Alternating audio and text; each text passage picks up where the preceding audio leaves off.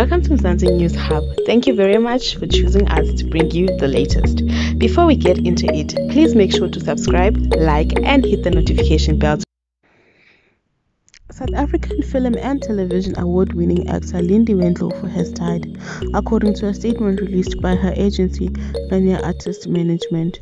The 44 year old actor passed away in her home on Monday, 11 January. It is with heavy heart and un- unimaginable sadness that we bring you the news of Lindiwe Tempekani Ndlovu passing in her home this morning, the company said. To us, Lindiwe was family, but to many, she was so much more. An unsung, incredible actress who will leave a huge space in the creative world of acting, Ghania continued. Some of her notable work includes her roles on Mzansi Magic's hit series Lockdown, TV drama Ifalake, and movies such as eHostela, Little One, and Safari.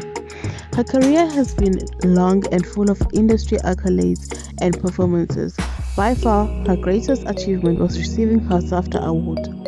The statement read Ndlovu was presented her SAFTA Best Actress in a Fair Feature Film Award by veteran US actor Samuel L. Jackson. Ndlovu was also a theatre actor, with a number of her plays showing at the Market Theatre in Johannesburg, as the statement explained.